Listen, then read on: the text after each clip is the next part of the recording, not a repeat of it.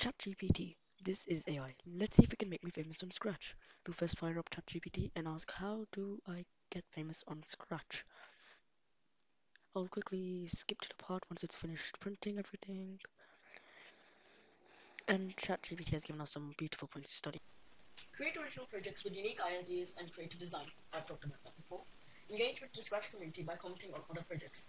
This is the best and by far it will get you the most amount of followers.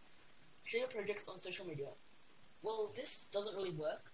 However, if you were to post it on Scratch related Discord servers or Scratch related subreddits, it might work. Use descriptive and relevant tags, hashtags, we've talked about that a lot before. Consistently create new projects to keep your followers engaged. That works sometimes, like make sure your quality of your projects doesn't come down.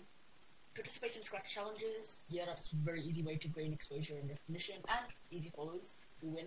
Be friendly, helpful, and supportive. Again, this ties in with the second point, it will get you by far the most amount of followers. Join the Discord, the link is in the description and also pinned in the comments.